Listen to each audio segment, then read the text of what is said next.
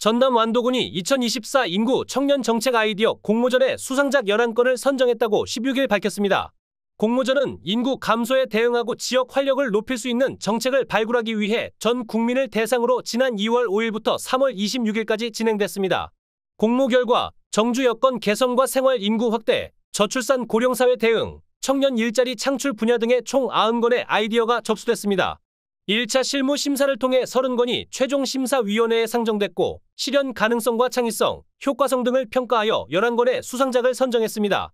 대상에는 노후 거리를 리모델링하여 카페, 맛집 등 청년 거리로 조성하여 활력을 찾자는 내용의 2030 청년 인구 유출 멈춰 가 선정됐습니다.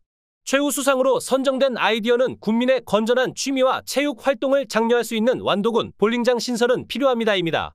완도군은 대상의 상금 100만원, 최우 수상의 상금 70만원, 우수상의 각 50만원, 장려상의 각 30만원, 노력상의 각 10만원을 완도사랑 상품권으로 지급할 계획입니다. 내외 뉴스통신 김영승 기자입니다.